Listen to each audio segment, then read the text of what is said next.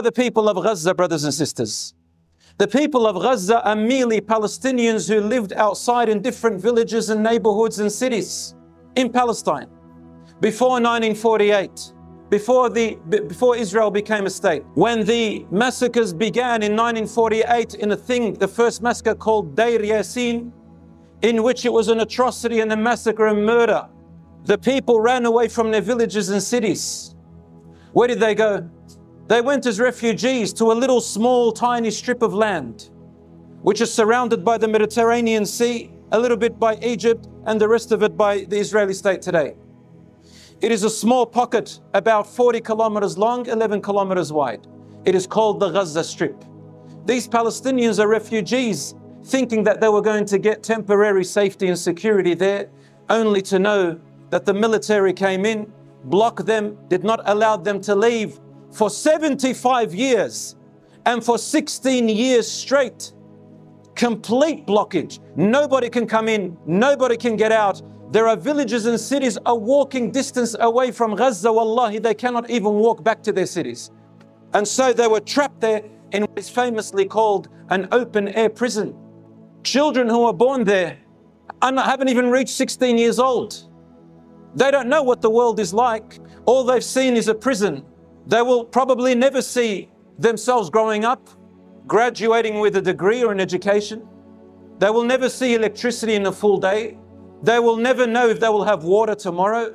They'll probably die of thirst, which is actually what's happening. These children who are born there, they have never had a day without gunfires and shots and missiles. They've become so immune to them that it's very normal as they play skippy and hopscotch and, and all that stuff, whatever it is, games that little children play while the missiles above them are falling. Some of them have never been able to see another Palestinian outside of Gaza. What is their crime? We saw the man who is in the rubbles of his building that had fallen. He's holding a big teddy bear next to him and another doll. His wife and two children whom he loved buried under the rubble. We all saw it. What is his crime? What are their crime? Another martyr, inshallah, wrote this which affected me. He says to the entire world, peace isn't about physical restfulness, the absence of thought or the scarcity of sorrow. It's the peace of knowing that everything belongs to God, to Allah, that rewards are renewed in proportion to your patience and your repentance. You will definitely be tested, he says, whether through loss, illness, or other trials, but Allah is just.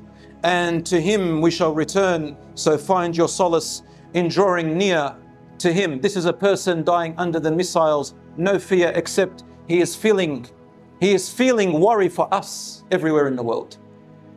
These people are not afraid, my dear brothers and sisters, they're used to it.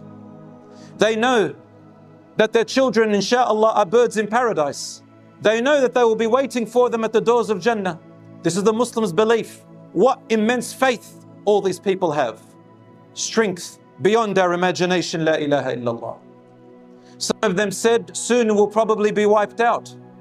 Please just remember that we once existed here, the Gazan Palestinians. My brothers and sisters, today we are witnessing oppression and injustice happening to our brothers and sisters in Gaza, Muslims and Christians, where the killing, destruction, annexation, illegal settlement and occupations as declared by the UN and in accordance with the international law. I'm not even quoting the Quran here. We are witnessing a retaliation of something they call collective punishment.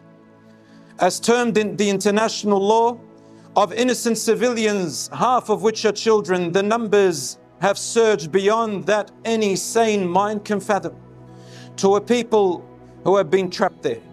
My dear brothers and sisters, do not misunderstand me. Islam forbids all forms of unjust killings, whether they are Muslim, Christian, or Jews, or any other people of any religion in the world.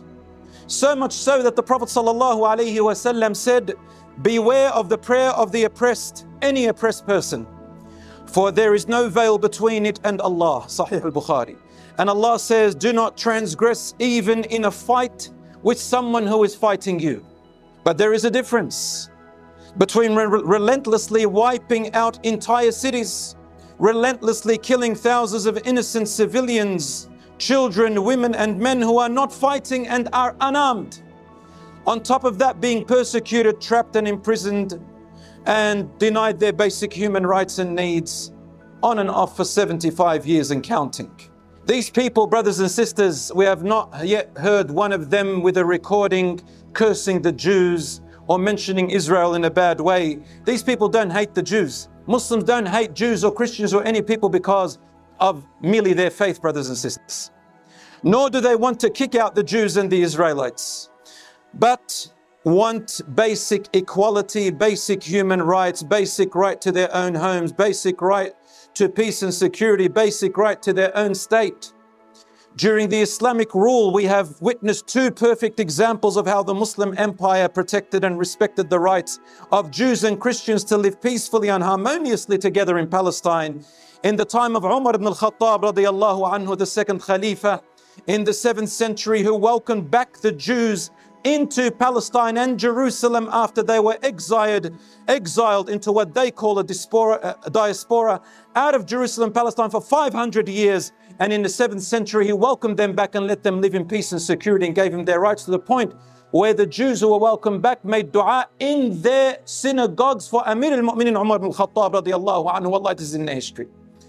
And the time of Salah ad-Din al-Ayyubi, the 12th century commander and sultan, who also liberated Palestine and then during his entire time allowed the Jews and Christians to live peacefully and security with all their rights, even through the Ottoman Empire until it fell in World War I in 1921 or 22. The Jews had all the rights with homes, even some of them reached government positions. So, no, our religion and Islam and the Muslims do not want to wipe out Jews. They don't want to wipe out people who call themselves Israelis. We don't want to wipe out Christians. Allah subhanahu wa ta'ala did not send Muhammad sallallahu alayhi wasallam to do that. One companion said, Ya Rasulullah, curse the kuffar, curse the disbelievers, il'anhum. He said, Lam ub'athu. I was not sent as a curser. What does Allah instead say about him? وما أرسلناك إلا رحمة للعالمين We have not sent you, O Muhammad sallallahu except as a mercy to all the worlds. But we have to stand up against injustice. If we don't stand up against injustice, Allah says many places of worship, synagogues, churches, and houses in which Allah's name is mentioned will be continuously destroyed. But we have to stand. And the Quran specifically mentions different places of worship.